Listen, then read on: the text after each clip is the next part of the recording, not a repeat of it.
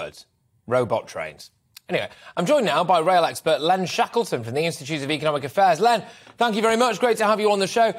I think it looks as though, unless we fork out a load of cash, we're going to have to face down massive strike action. Is it feasible to give in to some of Mick Lynch's demands, or would it just bankrupt us all? I think he's deluding himself to think that the public are, uh, you know, supporting him. Um, the the you know the railways have been uh, supported massively by, by the public over the last two or three years. Uh, billions of pounds, even before we um, we went into lockdown and so forth, we were spending about twelve billion a year on uh, operate, you know, on, on supporting the operation of trains plus the investment in the railways. Um, and of course, nobody lost their jobs or suffered a, a, a, loss of pay during the during the lockdown on the railways. Uh, so this is a privileged group of people. The Office of Rail and Road has just published an interesting report which suggests that they're paid about 9% more on average than comparable workers, right down the list, you know, from the top level right down to, to cleaners and so forth. So this is not a, a, an underprivileged group that we should uh, make a special case for.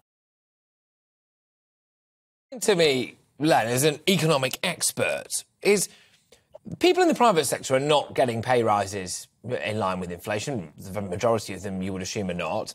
If the public sector do, or people who are on the railways, etc., get a pay rise in line with inflation, is it people like you and I who are paying for that?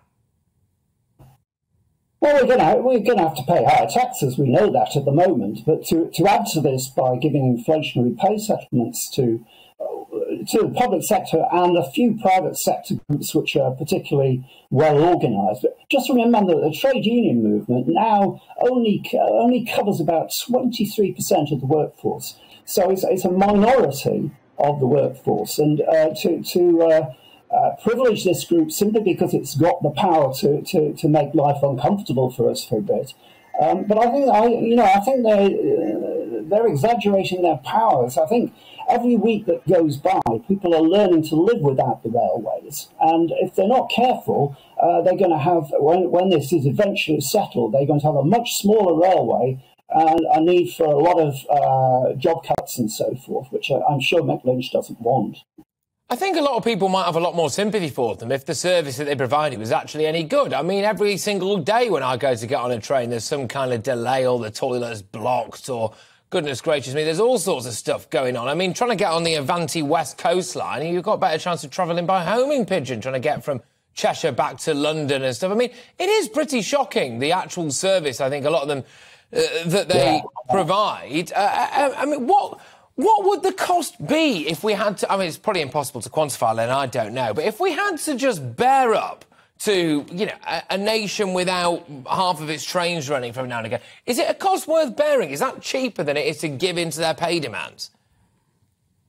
Well, that's a very difficult one to call, Patrick. But uh, let, me, let me just say, to be a, a, a little bit more even handed on this, I mean, the government has made a right pig's ear of their attempt to uh, reform the railways. This uh, thing, Great British Railways, which we were promised in the Shapps Williams report, if you remember that, about three transport secretaries back.